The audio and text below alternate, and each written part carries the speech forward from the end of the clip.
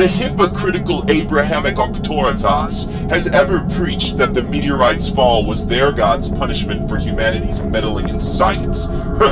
it was not their god, but ours. Great Cthulhu will once again deliver us into the peace of a new dark age. You have seen it in your dreams. The great old one will awake, but only with your help. Prove your faith in him and me as we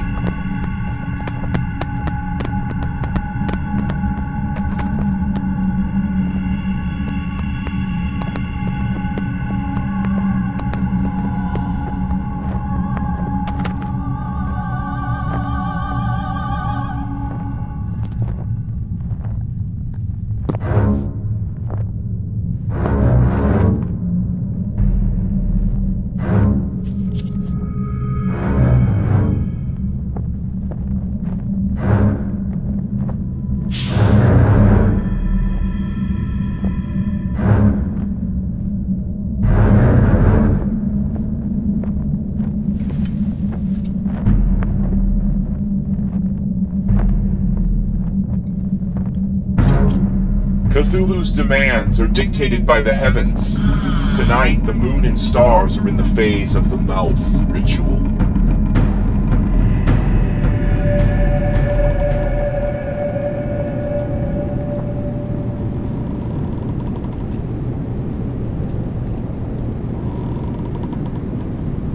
Worry, Deborah. He's still in there. We'll get him to his execution. You were right. All I had to do was mention Toyotomi and Bridgetown to the captain. Here we are. I don't know what Dunbar will do once he finds out your little secret. As far as I'm concerned, you ought to be in that cage with him. You got a problem, little lady? Speak up.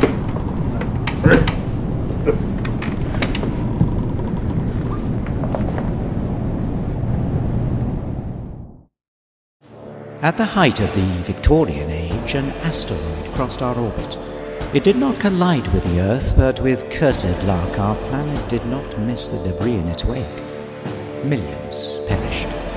However, Earth was reshaped and the skylands lifted by the strange etherite ore in the meteorites. Eventually, civilization rose again. This is the year 997, and adventure is inescapable in these dirigible days thank you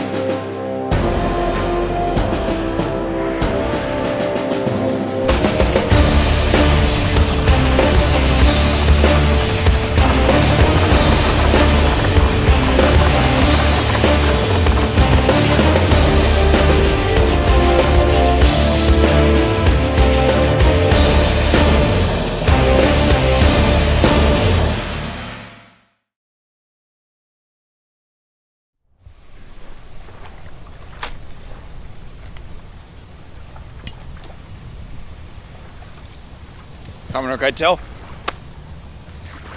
we have word from our men in uh, Great Wall. Albertson? I didn't think he had it in him. No, no, he, he doesn't, sir. He's dead. Was it the Dragoon Corps again? No, not this time, sir. It was it was just two men, sir. Cornell left with them, and he had Strega with them. Strega, Strega was was with them. We have their bearings. Yes, yes, sir, we do. Fire up the boilers. I want to be airborne in 20 minutes. Aye, aye, sir.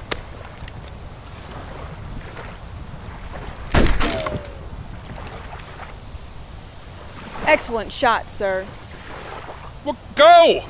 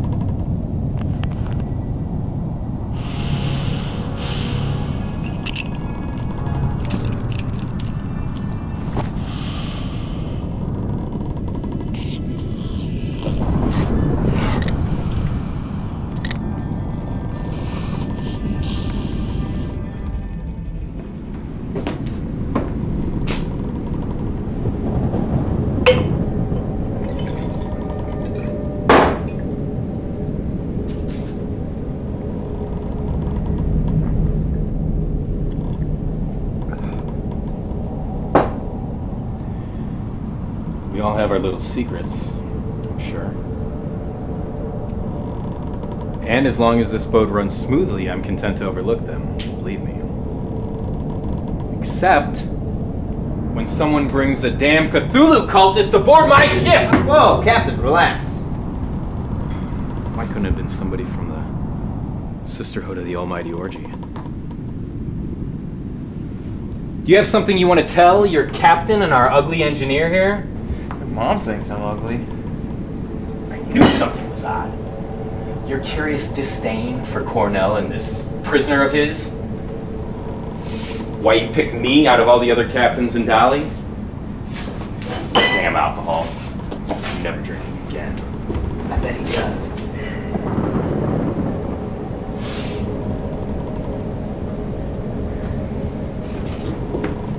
Is Cornell in your employ?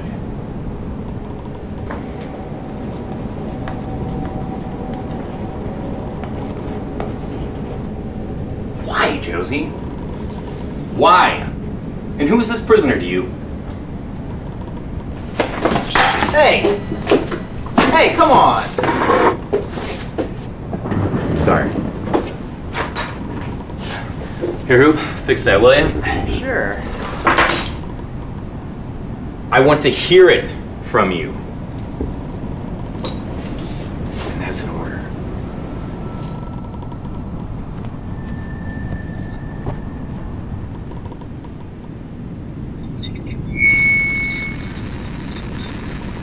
Thanks a lot, brasshole. Whoa, whoa! She makes talking! Only when she's really pissed, right, Robo Josie? Hmm. Look who's talking. Why don't you just explain what's going on here? Ugh. His name is Salazar Strega. I wanted to personally make sure he gets what he deserves. We have a history that ended with this. Oh, well, it is a pretty scar.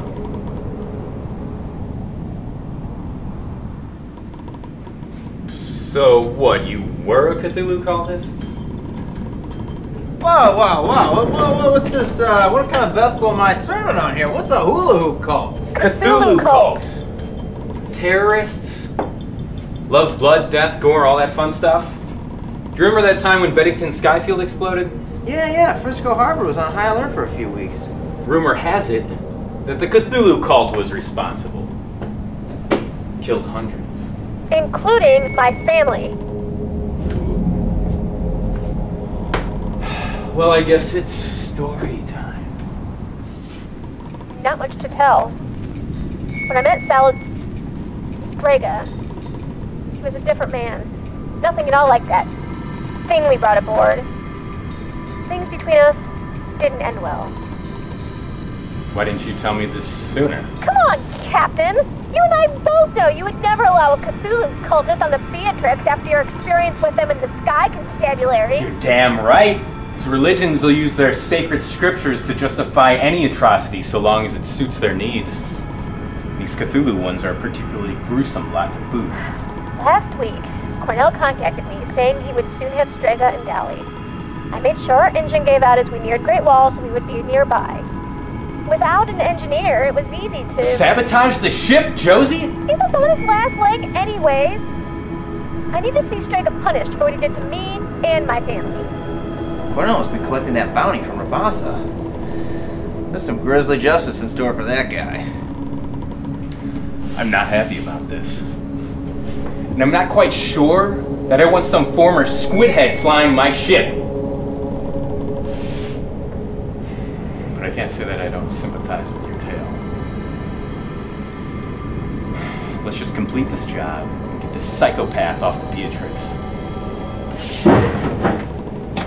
And if you want to stay on this dirigible, do not ever go behind my back again, Josie. Do you get me? I sir. Wait, wait, wait, wait. What happened in Bridgetown? Looks like the Aether storm settled down. Take us to communication altitude so we can send a clear transmogram. You know, I've been putting off telling Humboldt that his shipment's gonna be late thanks to this prisoner fiasco. We'll continue this conversation later. And then Cornell and I are gonna have a little chat. And he better be bright eyed and bushy tailed for this one.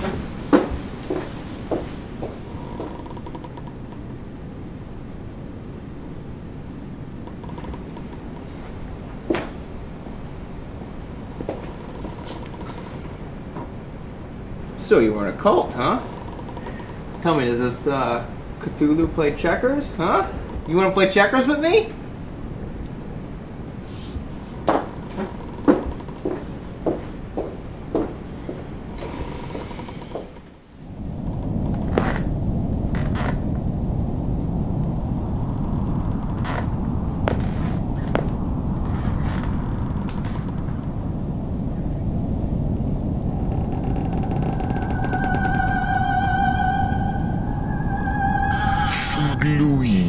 Gluenlaf, Cthulhu Relea, Wagan Nagal Fathagen.